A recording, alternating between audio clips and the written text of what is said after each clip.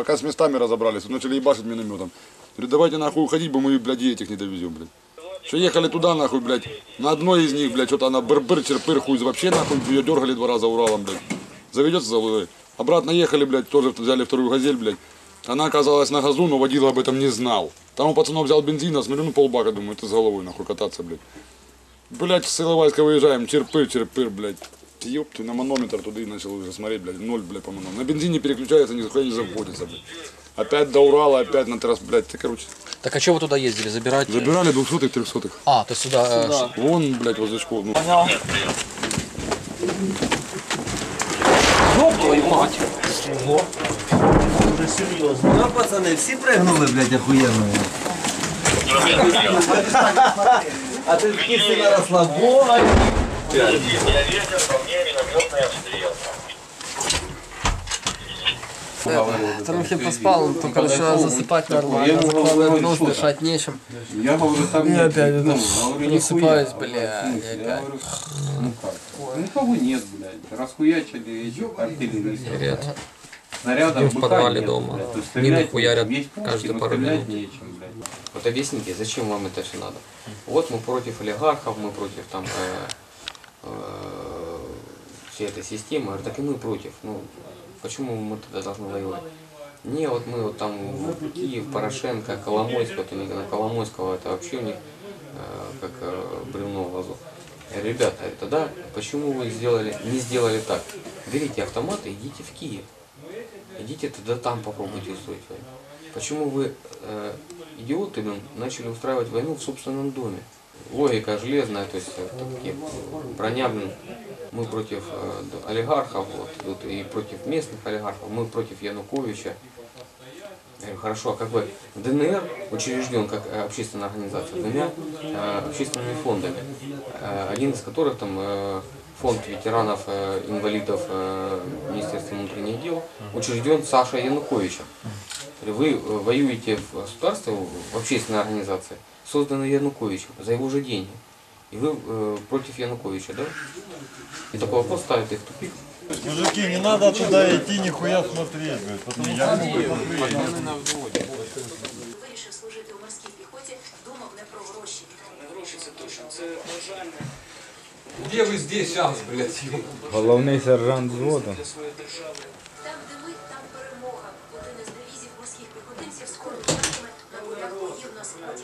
Хлопці готуються до Даже не вміє нормально участі впасти. операції. Олена Горячева. Он так на колени падал у Гарика, я бы уже стал отжиматься. Сили АТО, нагадаю, напередодні затримали з десяток російських десантників. Москва все ще намагається відхреститися від присутності своєї армії на Донбасі. Вбитих в бою ховають швидко і тихо, родичам не пояснюють нічого. Вы знали, что вы находитесь незаконно на территории Украины? Догадывался, ну первое, когда уже нас начали бомбить, ехали колоннами не по дороге, а по полям. Я даже не видел, где мы границу пересекли. Вчера по мою машину 334 был произведен обстрел. Машину взорвали. Это я понял, что это не учение, что это не просто марш. І від чого офіційно по складах довго ускладнилася ситуація в Іловайську. За даними командира батальйону Донбас Семена Семенченка, кілька українських підрозділів там в оточенні. В РНБО закликають не панікувати. Відведення частин збройних сил України, які забезпечували тил, називають перегрупованням і обіцяють наступ вже найближчим часом.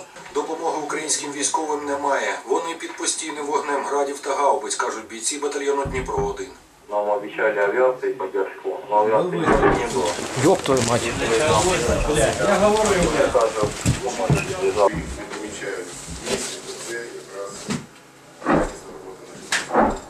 І ще одна гаряча точка в Іловайську. За словами командира батальйону Донбас Семена Семенченка, українські військові опинилися там в оточенні.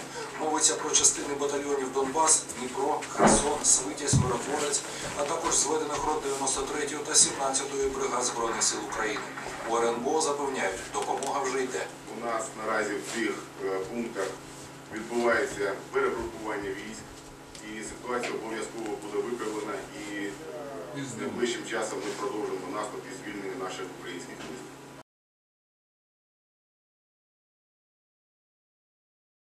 Пятнадцать минут назад мы посмотрели новости по Днепродзадин о том, что Путин говорил, что нету никаких тут российских войск. что все у нас замечательно, это там заблудшие десантники. Ну, буквально за час до этих новостей э, подбили российский танк, который был в километре от нашей позиции, собственно, от того телевизора, на котором мы смотрели новости. А днем э, захватили в плен один российский танк, и, собственно, документация вся на него, о том, что это Минобороны РФ. Вот, ну, вы потом увидите в сюжете как бы эту всю информацию, потому что это реальные факты, что действительно это не заблудшие какие-то десантники, это люди, которые прорываются на несколько, там, ну, на, на 50 на 100 километров вглубь Украины. Не чути. Це, це вже близько. Сидить в углу.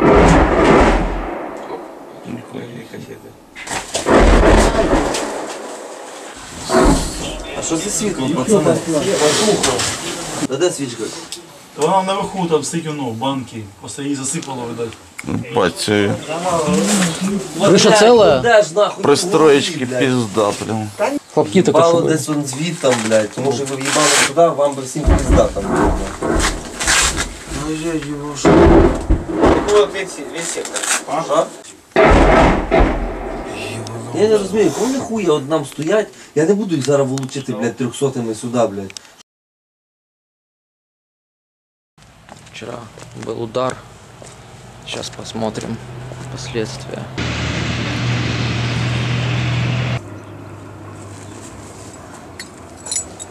Ну вот, осколки, да? Сегодня утро 27 августа. Ну, после очередной бомбежки. Видно, что все тут упало, вон, посмотри, упала мина. Какая кратерная, по- покосила все. Тут, ну, реально, гараж, осколки.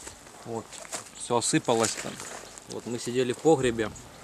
Мы сидели в погребе, был такой взрыв, что погреб бетонный внизу трусился и потух свет, даже там свечка настояла. Э, Якобы говорят, что вот там ДНРовцы России никогда не стреляют по мирным жителям, никогда никого не убивают. Спрашивается, вот если они стоят, ну реально очень далеко отсюда, они не видят, куда они стреляют, они просто стреляют по селам э, в надежде кого-нибудь убить. Разве это не убийство мирных жителей? То есть забрасывать мины просто в селах, где живут обычные люди. Хороший местный. Вот. Местные сварили нам картошечку, жирко, я так понимаю. Отличная картошка. Вот. Кому чистую тарелку? Ага, спасибо. Вот, сейчас мы покушаем, потому что реально еды особой нету.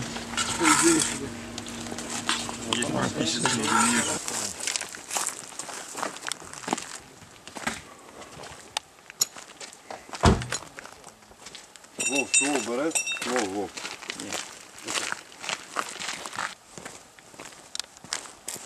Директор, директор, я динамит. Тут находится прикомандированный с восьмого полка. Наша ПТС, на жаль, згоріла в автомобілі. Благо залишилась монтажка. Ось так в польових умовах і працюємо. Ну, поскольку наша машина сгорела, как я уже говорил, то есть я перед, буквально перед э, минометным обстрелом успел вытащить ноутбук, камеру, телефон. Вот все, что осталось у нас как бы вот есть на столе. Сейчас монтируем видео, чтобы выложить в интернет, но на самом деле мы находимся в селе Многополье, и каждые там 15-20 минут э, бьют по нам мины, то есть минометный обстрел. И вот пока какой есть перерыв, мы постарались загрузить, смонтировать видео, сейчас прилетим в интернет. Ну, в любую секунду может упасть сюда мина, и мы побежим в подвал прятаться. Вот сейчас тут бабахнет. Слушайте внимательно.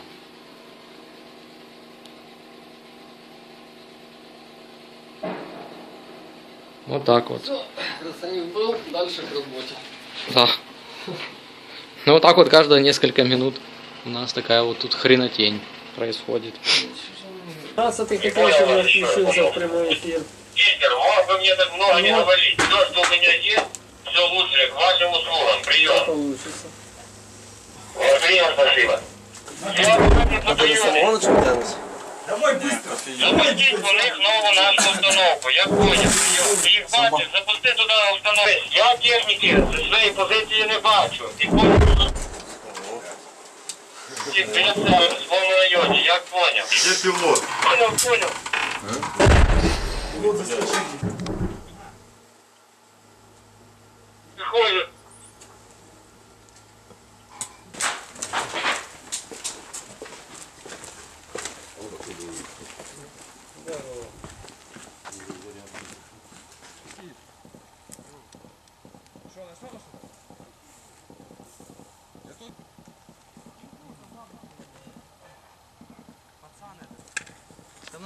Щупом, блядь, проверять, блядь. Кто есть опыт, кто, блядь, не находил этих, блядь, доносчиков ебаных? Коль, ну знаешь, какой подозрительный это может быть, блядь? Через можно цепить? Получается, мне кажется, батарея противника на гусеницах. А. Понял, понял. Семенченко отписался, потому что идет. Слышу только по звуку, не наблюдаю, они все в дымке и за бугром. Идет Кто? Ведут. к нам колонна. Наконец-то нас Ведут, ведут, я километр, прием. Микроавтобусов. Ведут направление. Шесть километров, направление Сыкова. Одна зеленая ракета и залп артиллерии противника. Направление Сыкова, одна зеленая ракета и одновременно залп артиллерии противника. Бьет, имоверно, в направлении динамита. Что в прием направлении залп артиллерии в?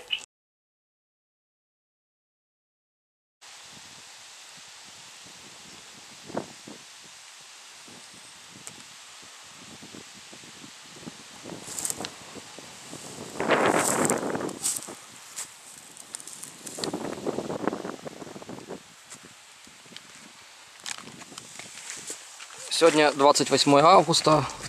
Мы в окопах под Деловайском. Вот скажите, как провели последнюю ночь? Какая вообще ситуация по личным ощущениям?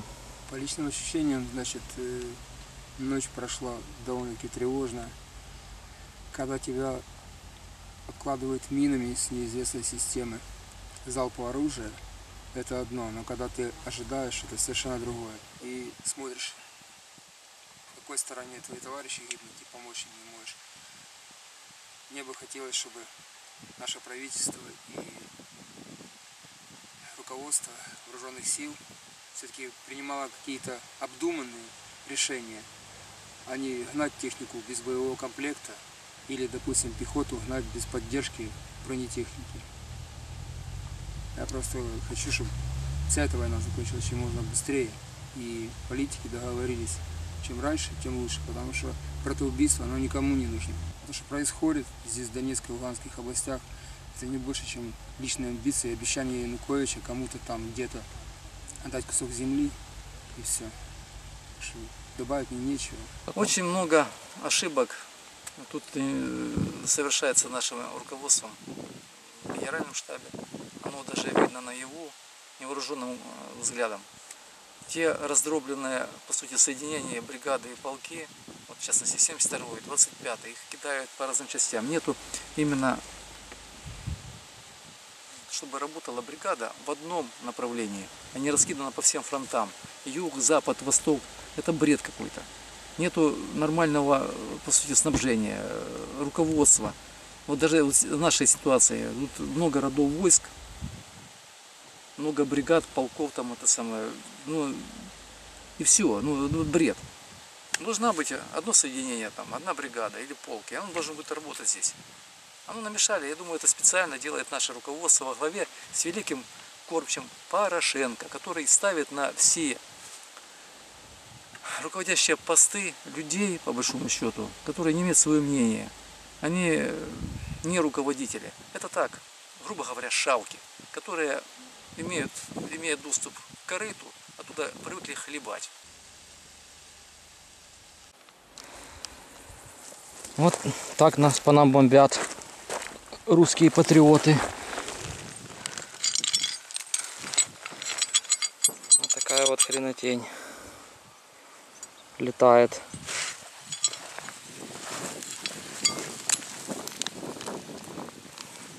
Вот там наш дом.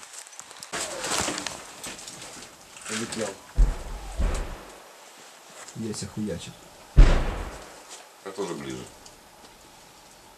Так что, Авака говорит, что все хорошо у нас, Да да? тут вон, а ты не видел, это, подводная лодка наших ВМС всплыла посреди поля.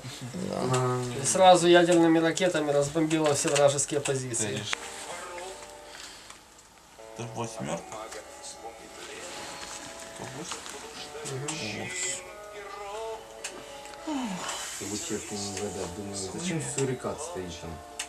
Ну, камни такие на газончик. и- В интернете все хорошо.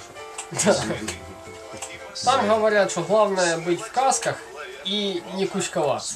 Это кто Да. говорит? Ну, Это специалисты. диванные специалисты, да. Что у нас большие потери, потому что мы без касок и собираемся в кучу.